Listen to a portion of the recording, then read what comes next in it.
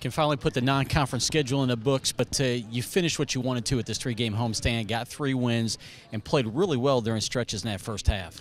We did. We played uh, after the first five minutes, after we got the three-point line under control uh, tonight. Uh, thought we played really well, the you know the last 14 minutes or so uh, of the half, and and uh, you know we were led by Travis Munnings. He had his motor running tonight now, and and it was good to see him. You talked about trying to find an identity for this basketball team. You're 11 games in now, getting ready to turn the page towards the conference schedule. You have a better feel for your team now.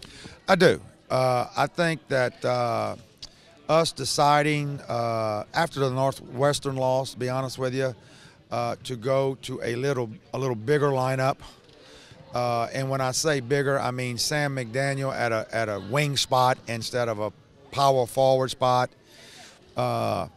Inserting Brandon Newman, getting him more minutes uh, down down the road here, a taller guard.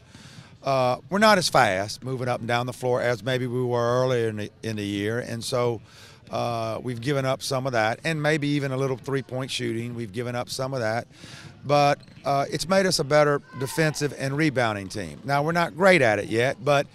Uh, it's better than it was, a lot better actually. And now we just got to improve on it daily and and uh, and get better at it. And you know, we think this is now the route that we need to go to be the best we can be. From game one to game 11, Brandon Newman may be as perhaps the most improved player. You've got to like what you're seeing from him. I, I really do. Uh, most improved so far, I would say that.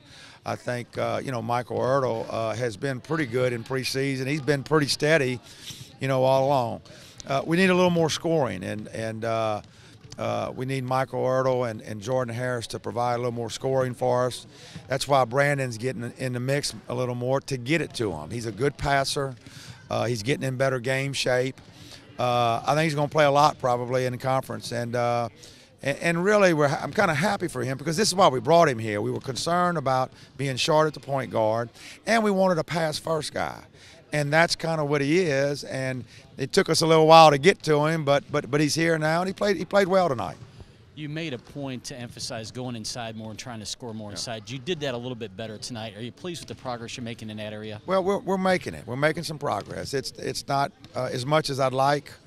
Uh, I've said this before. You know, it's it's uh, it's not in our kids' nature. We don't have, you know, that aggressive uh, man child or whatever you want to call in, in there, either low posting or even that that really strong driving guard. You know, it's just kind of not in our nature, uh, personality wise, with our team. So we're having to make our guys either drive it uh, or pass it, you know, to people cutting or, or in the post to get some plays uh, inside the three point line. So these two games, we got better at it. Uh, we still need to work on it and, and, and against better competition but it was certainly a start in the right direction. Finish the non-conference schedule above 500. Get ready for conference play. I know that there's an excitement always as you kind of turn the page and that second season really begins. Yes, uh, you know, once the guys come back, uh, we want them to enjoy the next four or five days and – uh, we'll be breaking down film with uh, Arkansas State and, and scouting them so that we're ready for when the kids come back because uh, it's always an exciting time.